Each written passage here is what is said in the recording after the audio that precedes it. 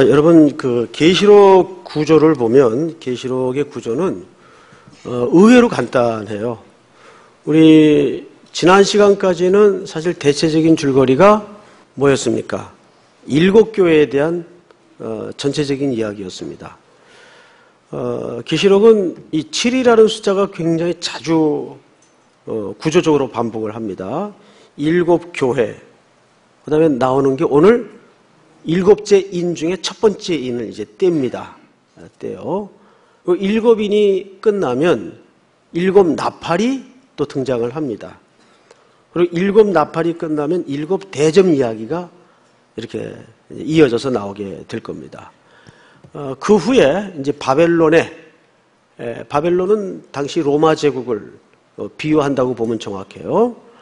어, 바벨론의 제국이 패망을 하고 멸망을 하고 이어서 어린 양의 혼인 잔치가 이루어지면 이제 천년 어, 왕국의 이야기로 어, 마무리가 되면서 어, 드디어 새 하늘과 새 땅의 풍경이 우리에게 아주 자세하게 묘사가 됩니다. 이것이 계시록 전체의 그 줄거리입니다.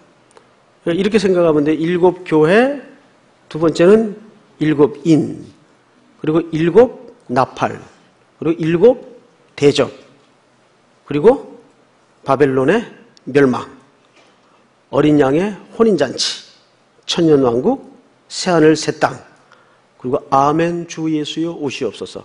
이 계시록 전체 이야기예요. 자, 그 중에 이제 오늘부터 시작되는 일곱 인 중에 첫 번째 인은 어, 이 일곱 인을 뗄 때마다 어, 벌어지는 이야기는 이 말세가 되면 어떤 재난이 임할 것인가. 그래서 이것을 미리 우리가 듣고 깨닫고 공부함으로써 오늘이라는 현실의 삶을 철저하게 준비하고 또 경고케 하는 거죠. 그런 차원에서 오늘 6장의 일곱인 첫 번째 시간을 좀 들어가겠습니다.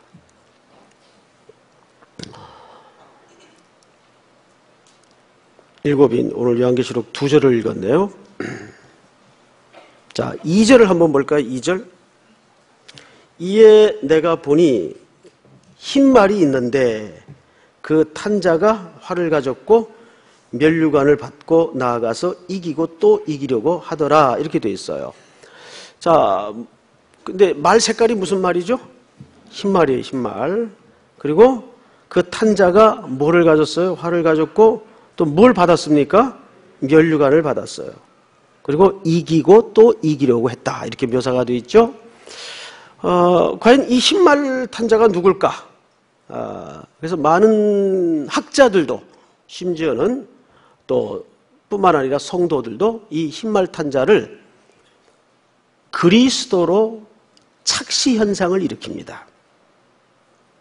그럴듯해 보이죠? 그림이? 뭐 멸류관도 받았겠다. 끔정말도 아니고 깨끗한 흰말을 탔겠다. 게다가 이기고 또 이기려고 하는 걸로 보아서 그리스도가 아니겠는가. 이렇게 이제 착시 현상을 일으켜요. 이 오해의 큰 이유는 이와 아주 비슷한 그림이 요한계시록에 또 한 군데 등장을 해요. 어디에 등장을 하냐면 자 성경을 좀 보시다. 어, 요한계시록 19장 11절에서 16절까지인데 이제 우리 자막을 좀 읽겠습니다. 다 같이 시작. 내가 하늘이 열린 것을 보니 보라 백마와 그것을 탄 자가 있으니 그 이름은 중심과 진실이라 그가 공의로 심판하여 싸우라 12절. 그 눈은 불꽃 같고 그 머리에는 많은 관들이 있고 또 일승과 하나가 있으니 자기 밖에는 아는 자가 없고 시작. 또 그가 피 뿌린 옷을 입었는데 그 이름은 하나님의 말씀이라 칭하더라 시작. 군대들이 희고 깨끗한 세마포 옷을 입고 백마를 타고 그를 따르더라 그의 입에서 예리한 검이 나오니 그것으로 만국을 치겠고 친히 그들을 철장으로 다스리며 또 친히 하나님 곧 전능하신 이의 맹렬한 진노의 포도주 그를 밟겠고 그 옷과 그 다리에 이름을 쓴 것이 있으니 만왕의 왕이요 만주의 주라 하였더라 자, 우리 지금 방금 요한계시록 19장 아주 비슷한 장면이죠? 어, 비슷한 장면 때문에 이 6장의 흰말을 탄 자와 19장의 흰말을 탄 자를 읽다가 착시 현상을 일으키는 거예요. 그래서 해석학적인 실수가 벌어지는 겁니다.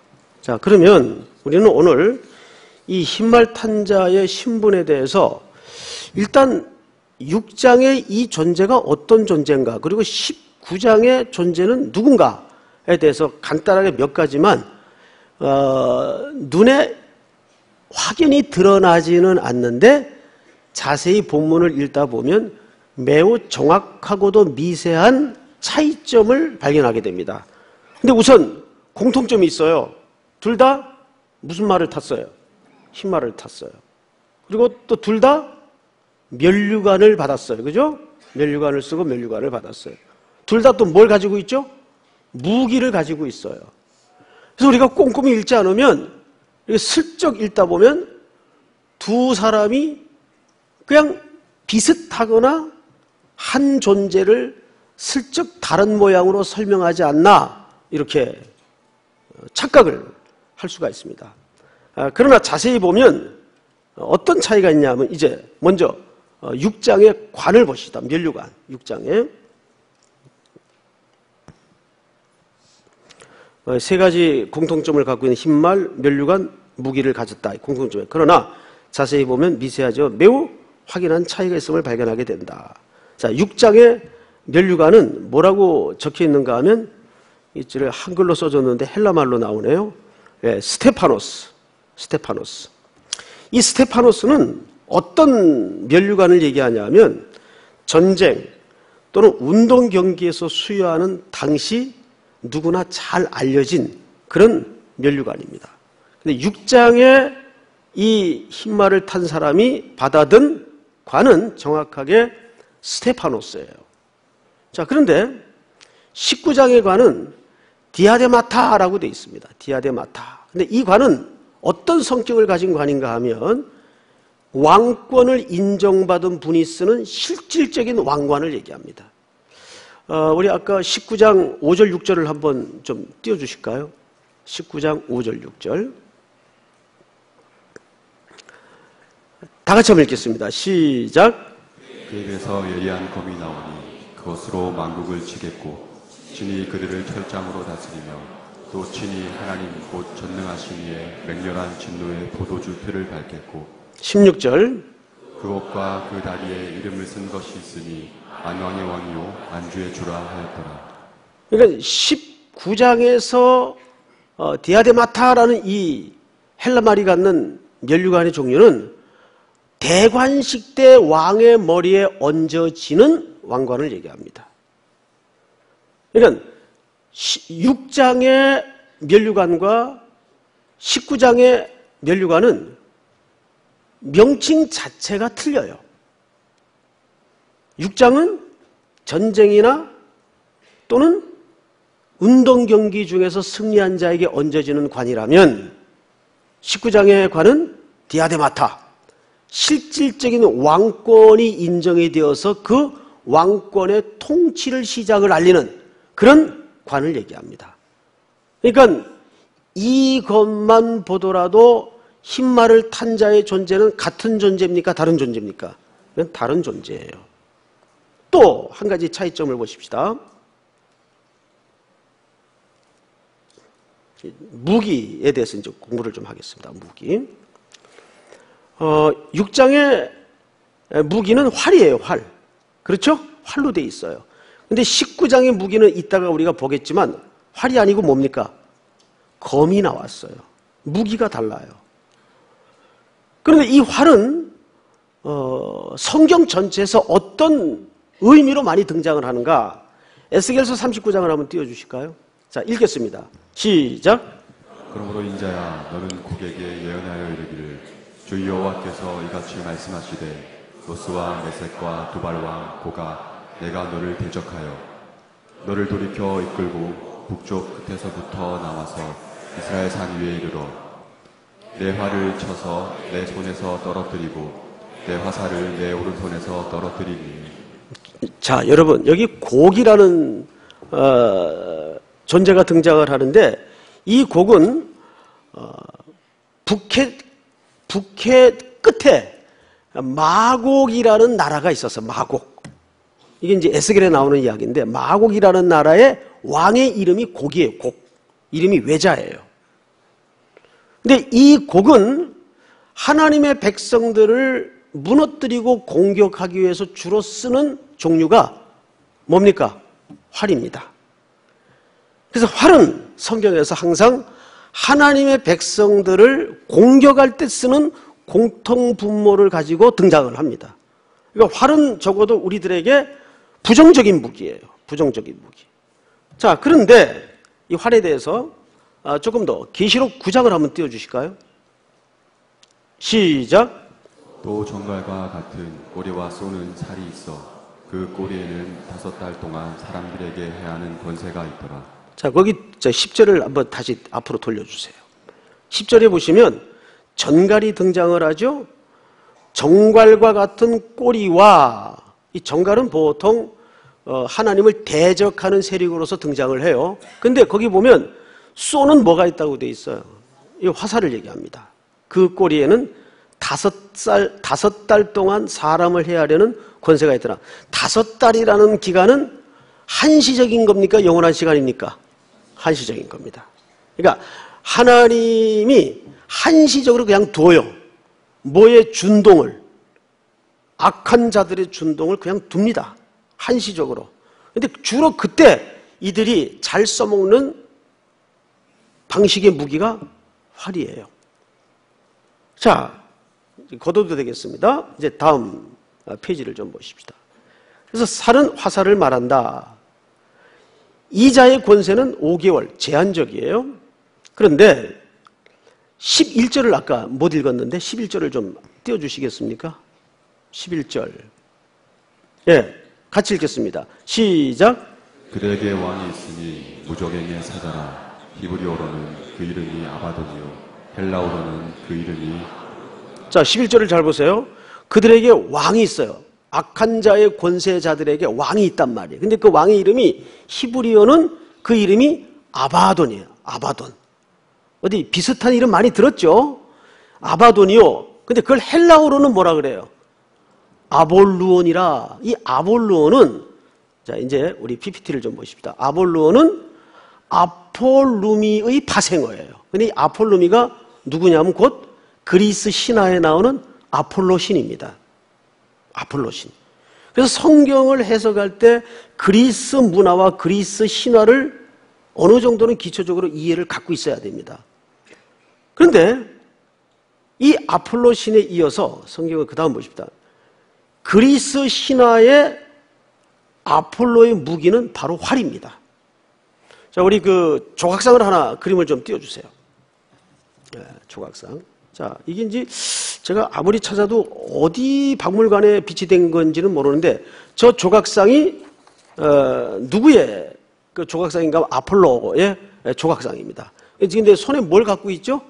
활을 갖고 있어요. 자, 이제 걷어도 되겠습니다. 민망하네요. 어, 아폴로가 주로 쓰던 주 무기가 활입니다. 근데 재밌는 것은 이걸 누가 흉내를 냈는가 하면 이러한 헬레니즘의 배경으로 로마 황제들은 항상 뭘 갖고 다녔어요? 활을 갖고 다녔어요. 문양을 보시면 지금도 그 어, 흔적이 고스란히 남아 있습니다. 그건 왜 그런가 하니 이런 그리스 신화의 영향을 받아서 자신을 신적인 존재로 부각시키기 위해서 황제들이 말하자면 활을 항상 지니고 다녔습니다. 그게 이제 그 고고하게도 많이 증거 자료가 남아 있죠. 그러니까 재밌는 거는 그리스는 로마에게 사실상 먹혔는데 로마는 그리스 문화와 문명에 먹혀버리고 만 거예요. 예, 이건 이제 하나의 그 역설이죠. 이렇게 해서 아, 이 아폴로, 아볼로는 세상 세력의 가장 대표적인 어, 리더로서 성경에도 등장을 하는 거죠. 자, 그러면 19장에 말을 탄 자의 흰말을 탄 자의 존재는 누굽니까? 그 어, 무기는 뭡니까? 검이에요, 검. 근데 검은 아시는 대로 예수 그리스도의 입에서 나오는 무기가 검입니다. 예수 그리스도 입에서 뭐가 나오죠? 하나님의 말씀이 나오는 거예요. 성경은 예, 곧 하나님의 말씀, 진리를 검이라고 얘기를 합니다. 진리의 검. 그래서 말세의 가장 중요한 싸움이 사실은 어, 경제, 국방, 정치, 문화가 아니라 무슨 싸움이에요? 결국은 진리 싸움입니다. 마지막에는. 우리가 속지 말아야 돼요. 내년에 이제 올해인가요? 총선이 있다면서요. 총선 때 각 지역마다 이제 정치인들이 여당, 야당, 제3당 할 것 없이 나와서 이제 그럴듯한 구호로 또 어, 일시적으로 백성들의 귀를, 마음을 흔들고 즐겁게 할 겁니다. 그때 여러분들은 정말 기도하면서 투표 행사에 참석을 해야 됩니다. 투표권을 행사해야 됩니다. 우리가 적극적으로 세상을 바꾸는 방법은 사실상 그 방법밖에 없어요. 그런데 정치인들의 헛구에 속아서는 안 돼요.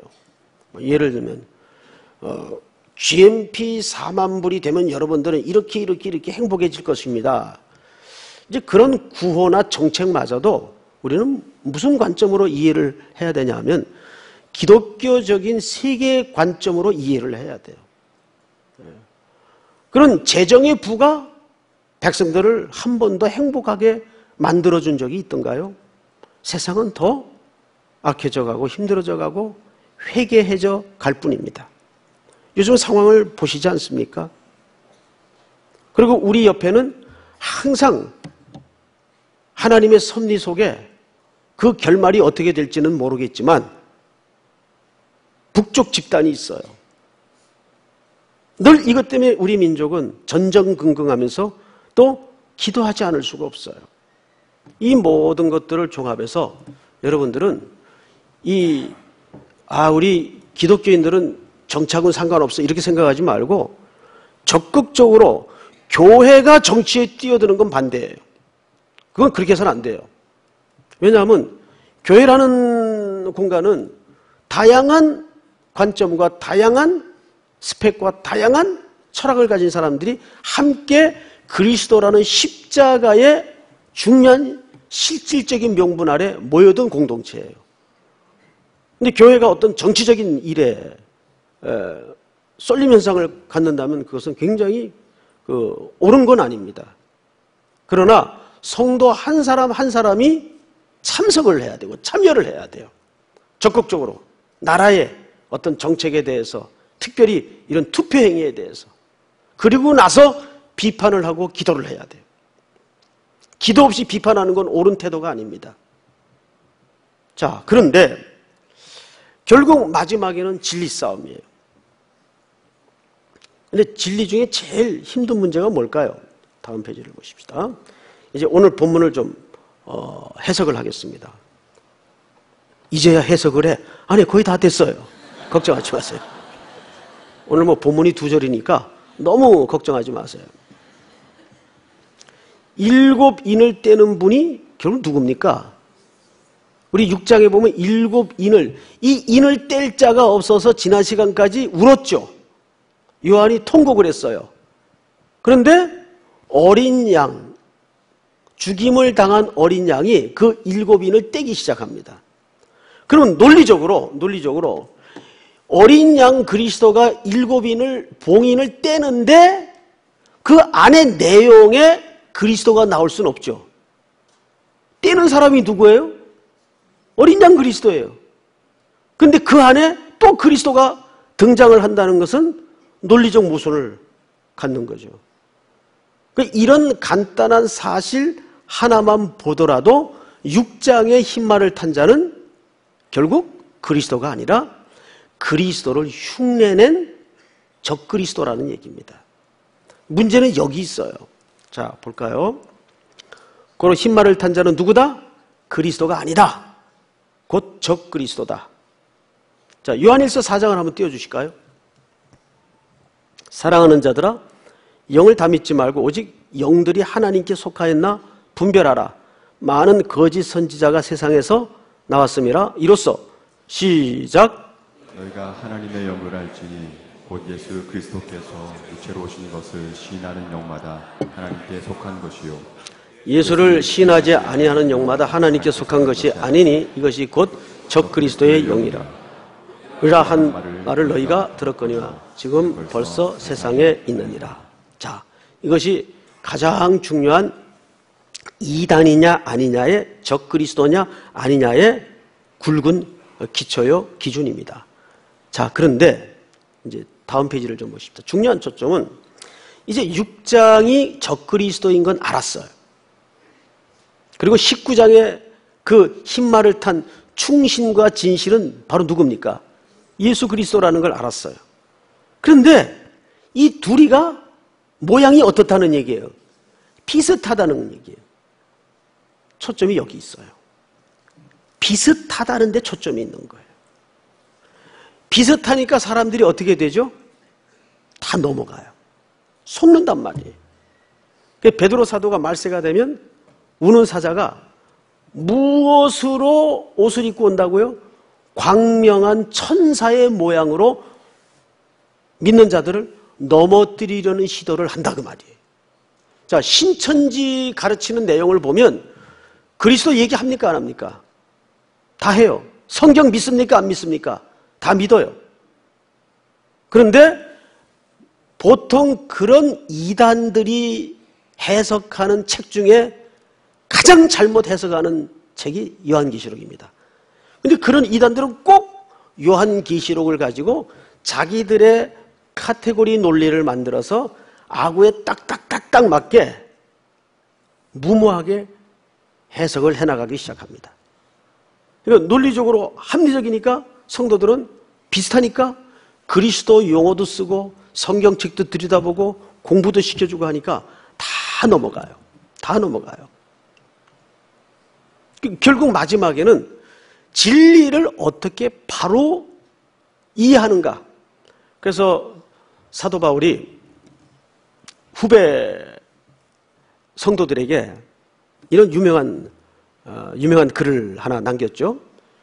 너희가 진리의 말씀을 옳게 분별하며 그 분별하다는 말은 길을 똑바로 낸다 그 말이에요. 길을 똑바로 낸다.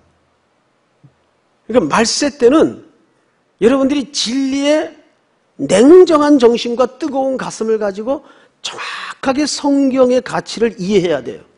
그러지 않으면 이게 다 혼재되게 돼 있습니다. 섞이게 돼 있습니다. 뭐 신천지나 통일교나 기독교나 뭐 큰 차이 없는 거 아니냐. 다 믿는 거니까. 다 하나님이 얘기하고. 이제 이런 혼란한 가치 속에서 결정되어지는 내용과 프로그램들은 이제 엉뚱한 방향을 타게 될 수밖에 없는 거죠. 비슷해요. 귀신들도 예수님을 알아요. 그러니까 마가복음 5장에 보면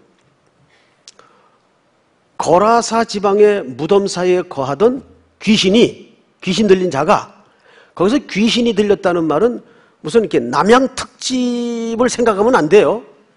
어, 이제 물론 그렇게도 귀신이 들리는 경우가 있지만은 조금 광의적인 차원에서 생각을 해보면 여러분 생각해 보세요.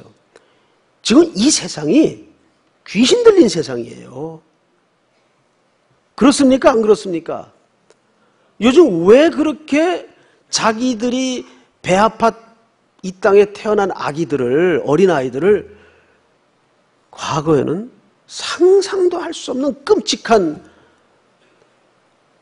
테러를 가하고 엊그제도 계속 지금 보도에 등장하고 있는 그 엽기적인 사건 여러분 보셨지 않습니까? 입에 담아내기도 싫어요. 그 기사 보기도 싫어요. 들리니까 들었는데 정말 읽기도 보기도 싫어요. 어떻게 아버지가 그럴 수가 있었을까? 그것만은 말할 것도 없고 근데 이제는 그런 보도가 심심치 않게 벌어진단 말이에요. 그 이런 게 귀신 들린 세상이 아니고 뭐예요?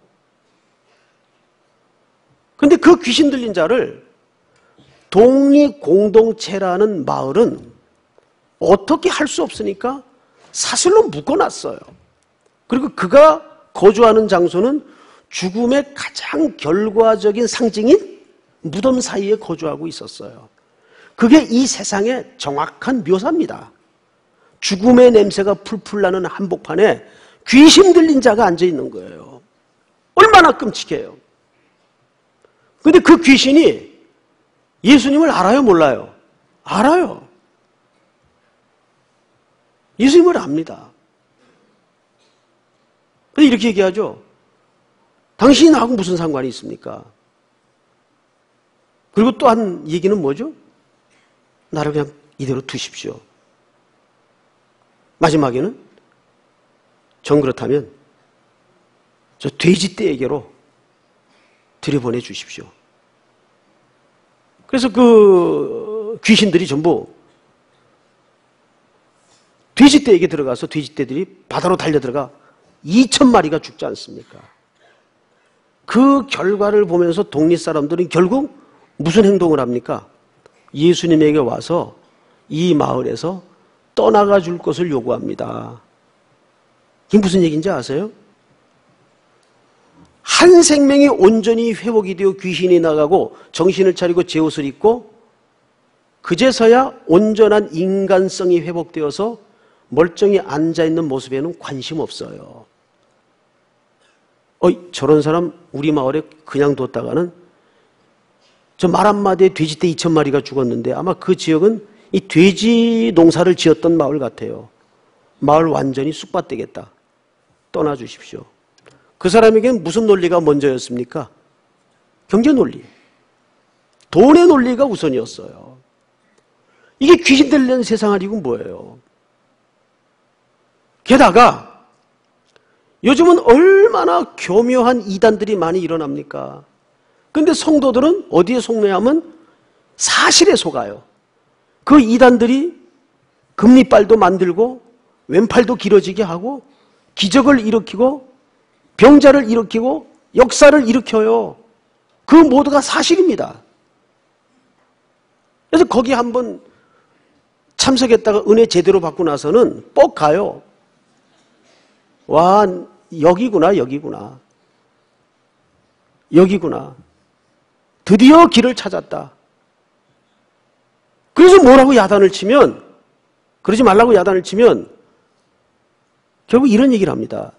목사님, 사실이에요. 눈을 부릅뜨고 그런 얘기를 해요. 자, 여러분들한테 한번 물어볼게요. 사실이면 진리입니까? 진리와 사실은 같을 수가 없어요. 사실이면 진리예요. 누가 그렇게 가르칩니까? 근데 사실이라는 현상에 다 넘어가고 다 속아요. 그러니까 이 어둠의 권세 잡은 자들이 재밌죠. 하, 이것들 봐라. 그냥 사실이라니까 다 넘어오네. 그래서 어둠의 영들이 역사를 일으키는 겁니다. 거기에 다 넘어가는 거예요. 그래서 항상 성경의 패턴을 보면 무엇이 교차되냐 하면 말씀이 선포되면 반드시 기적이 나타나요. 표적이 나타나요. 이게 반복해서 등장하는 패턴입니다. 왜 그런지 아십니까? 그 당시에는 하나님의 말씀이 완성이 안 됐을 때입니다. 그래서 이 선포된 말씀이 하나님의 신적 권위를 가지고 있다는 사인으로서 기적이 나타나는 거예요. 그래서 말씀이 선포되면 기적이 나타나고 다시 말씀이 선포된 다음에 그 말씀을 신적인 권위로 확정하는 기적이 나타나는 패턴이 계속 이어집니다. 그런데 지금은 성령의 감동하심으로 성경 66권 하나님의 말씀이 완성이 되었어요. 그 말씀은 온전하고 충분하며 완전해요. 믿습니까? 그래서 이제 그런 기적이 그렇게 안 나타나는 법입니다. 근데 아직도 성경이 들어가지 않거나 온전히 번역이 되지 않은 오지 같은 데서는 어마어마한 기적과 역사가 나타납니다. 이젠 절대 없다. 이것도 하나님의 역사를 제한시키는 그 섣부른 고백입니다. 있어요, 기적이. 여전히 있어요. 그런데 이제는 그 기적보다는 무엇에 우리가 중점을 둬야 될까요? 하나님의 말씀. 저는 우리 삼일교회 젊은이들과 성도들이 이렇게 한 10년만 하나님의 말씀을 체계적으로 잘 배워나가면 그 기초가 어느 날 나도 모르게 꽃이 피어지고 결실이 날 때, 그건 당장 눈에 보이는 게 아닙니다. 계속 말씀을 먹다 보면, 여러분, 내가 오늘 한 끼 불고기 해가지고 바베큐에서 잘 먹으면, 어? 1cm 컸네. 눈에 띄어요? 우리 성장이 그렇게 되는 겁니까? 물론 그렇게 크는 애도 봤어요. 어휴, 무서워요, 무서워. 막 1년에 15cm 막 크고 그러니까 살이 터지고 성장통이 생기고 그러더라고요. 그런데 그거는 이제 성장기가 있단 말이에요. 성장기가. 그러나 제일 늦게 자라는 게 인간 아니에요. 제일 천천히 자라는 게 인간 아니에요. 이것이 눈에 보이지 않게 자랍니다. 계속 자랍니다. 그래서 나지 아니할까 싹이 트지 아니할까 걱정하지 말고 선교지 10년 가서 안 되면 20년 가고 20년 가서 안 되면 자식들 키워서 또 보내고 그렇게 하다가 주님 오시면 그때 뚜껑 열고 보는 거예요. 믿습니까? 이렇게 역사를 넘어 보는 믿음의 안목을 우리가 갖고 있어야 됩니다. 그 근저에는 하나님의 말씀은 살아운동력이 있다. 이 말씀은 반드시 역사하신다.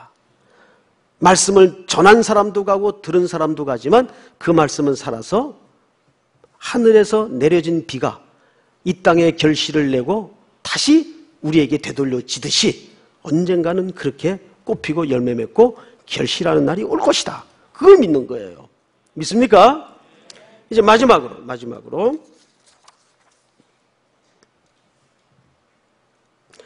10, 어, 계시록 6장 2절을 한번 볼까요? 2절. 2절. 다 같이 한번 읽겠습니다. 2절. 시작. 위에 내가 보니 한 말이 있는데 그 탄자가 활을 가졌고 연료안을 받고 나아가서 이기고 또 이기려고 하더라. 보세요. 여기 결정적으로 웃기는 문장 하나가 뭐냐면 이겼어요. 이기고 이기려고 해요. 네, 이런 본문을 미세하게 봐야 됩니다. 이긴 게 아니라 이기려고 애쓰고 있는데 이건 못 이겨요. 누가 이기느냐? 우리 성경을 직접 찾습니다. 계시록 17장 14절 14절 다 같이 읽겠습니다. 시작 그들이 어린 양과 더불어 싸우려 어린 양은 만주해 주시오 만왕의 왕이시므로 그들을 이기실 터이요 또 그와 함께 있는 자들 곧 부르심을 받고 택하심을 받은 진실한 자들도 이기리로다. 할렐루야. 마지막에 누가 이기세요? 만주의 주이신 어린 양 그리스도가 이기신단 말이에요. 자, 19장. 오늘 본문으로 다시 가서 19장. 아까 보았던 본문이죠? 한 장만 넘기면 됩니다. 15절. 15절. 14절부터 읽겠습니다. 하늘에 있는 군대들이 희고 깨끗한 세마포를 입고 백마를 타고 그를 따르더라. 그는 어린 양이죠. 그의 입에서 예리한 검이 나오니 그것으로 망국을 치겠고 자, 잘 보세요. 결국 마지막의 승리는 뭐가 승리한다는 얘기입니까? 진리. 진리가 이기고 진리가 승리한다는 얘기예요. 믿습니까? 그래서 이것을 진리게 얘기할 거예요. 진리게. 아, 이런 조크는 안 해야 되는데. 응? 저는 이 사실을 믿습니다. 결국은 말씀이 이깁니다. 말씀이 이깁니다. 우리가 밥을 못 먹으면 살지 못하듯이 매일매일 이 영의 양식을 꾸준히 공급받고 영의 양식에 늘 허기 가지고 목마른 우리 3일의 모든 성도들이 되어서 이 말씀의 검으로 온 세상을 이겨내는 결단과 용기와 은혜가 있기를 주의 이름으로 축원합니다.